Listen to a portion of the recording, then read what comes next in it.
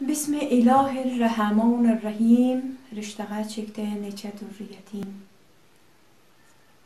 امیر کلام میر نظام الدین علی شیر نوایی تیموریلر دوره هرات شهرده تغلگن او ویرده اونب اوسب درس اوقب ایجاد اتب آتمشبر یاشده دنیانه ترکید کند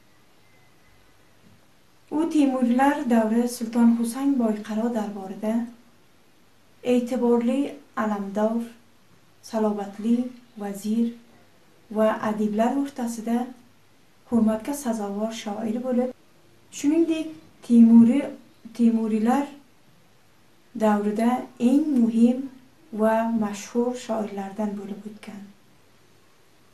Sohibqiron Amir Temurning sevgli o'g'li shohrux Mirzo o'limidan 7 yil oldin 1441-yil dunyoga kelgan. Hazrati Navoiy ko'p kichik yoshlarda favqulodda iste'dodga ega bo'lib, rivoyatlarga ko'ra 10-12 yosh davridan she'r bitishga harakat qilgan va eng muhim she'rlardan bir bayti bundan iborat. Orazin topgach ko'zimdan sochilur har lahza yosh. O'ylakim paydo bo'lur yulduz, nahon bo'lgach quyosh. o'tkir adabiy did va ko'rkam badiiy tarzda yozishi hammani hayratga solgan navoiy farqli janrlarda o'ttizdan osha ijod etgan va o'zidan asar qoldirgan va ko'pincha asarlari ona tiliga e'tibor berish uchun o'zbekcha o'zbekcha tilga yozilgan.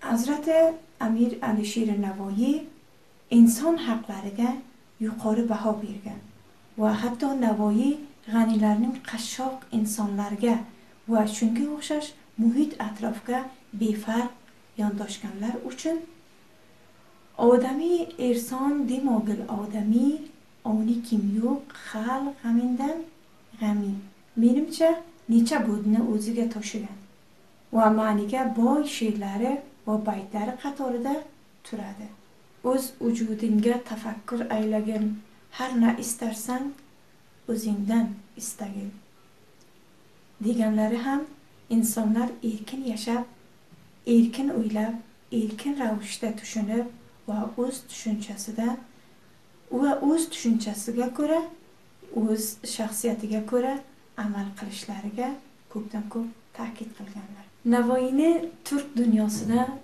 o'tgan e, davra va hozirgi davraga betakror bir shaxsiyat bilaman. Chunki navoiyni kitoblarini o'qib chiqqanga xususan hamsa va unga o'xshash boshqa kitoblarni o'qib chiqqanga bizlar uni e, saviyasiga va uni sathiga she'r o'qib va e, hikoya yozib adabiy bahs qilish hozirgi e, shoirlar va hozirgi adabiyotchilarni e, ustun ko'raman. Ya'ni hozirgacha biz shoirlarni ko'rib kelyapmiz biz har qaysidan ko'rsa biz ikki uch hatto o'nlarcha she'rlarni navoiy kitoblarini va navoiy she'rlarini o'qib va unga ta'sirlanib va uni ta'siridan bular she'r yozishga qodir bo'lganlar. Ya'ni navoiy e, betakror bir maktabdir. E, navoiy insonlarga kuch beruvchi va quvvat beruvchi va e, unda u eng buyuk bir muallim va rahnamo tamomi adabiyotchilarga va turk dunyosida bilamiz. Va ba'zi yoshlarga mutolaa qil desak mutolaadan e, kitob yo'qligi bir bahona bo'ladi. Ya'ni agar navoiy haqida biza kitob o'qilsak navoiy haqiga tahqiq qilsak navoiy hamsalardan o'qisak bizlarga mana shu sosial media yo e, e, ijtimoiy tarmoqlar bizga eng katta vasila bo'ladi. Ya'ni bundan biz ayta olamizki navoiy haqiga yuzlarcha hatto minglarcha kitob olsak o'qisak mutolaa qilsak va undan ta'sirlangan fikrlarimizni yozsak to kelajak naslga bizlardan ham navoiydek ot tutilmasa navoiy shogirdlari va navoiy maktabidan ot tutilib va o'zimizdan asar qo'ysak yomon bo'lmaydi meni fikrimcha.